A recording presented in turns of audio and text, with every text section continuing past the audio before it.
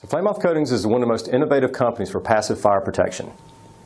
We develop many products to help resist fire and help companies have uh, products that will be certified and to meet ratings for our local building officials in the construction industry. What is intumescent paint? Intumescent paint is technically advanced material, fireproofing materials.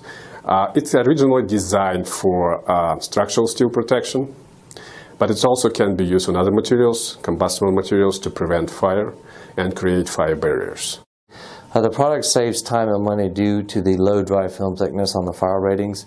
Um, some fire ratings are for our product for one hour can be as low as 50 mils um, in a medium WD ratio.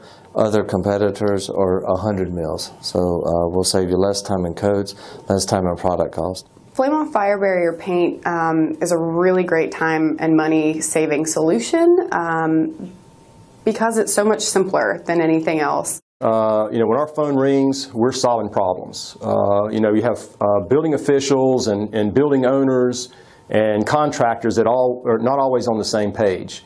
And at the end of the day, everybody wants to protect human life. People call um, and they've got a problem they don't know how to solve, and they have um, something, you know, their their contractor messed up, or they bought an old building and they had no idea what was going to be required of them to be compliant, and so they call us and they're looking for guidance, they're looking for a simpler solution, um, and I get to help them do that every day. People lives behind that, so uh, we're testing our product all the time. It's non-stop process, and we keep testing and we have a big plans to test further. Uh, market differentiators for us is uh, Flame Off in this industry is one of the youngest companies in the industry. Uh, we feel like we're more innovative. Uh, we use the intumescent coatings chemistry and some of the things that we've learned over the past 10 years to make other things fire resistant. What excites me the most is where I look at where we were at six years ago when we were just starting the testing phase. Uh, to be able to, to do what we've done in the short amount of time, to come up with the with the fire ratings that we have uh, is is just phenomenal.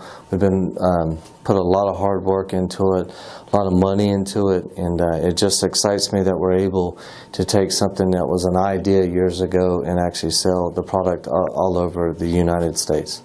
So uh, Flameoff wants to um, expand into different areas for you know making things more fire resistant. Um, you know we want to use our technologies and you know meet with companies that have innovative ideas.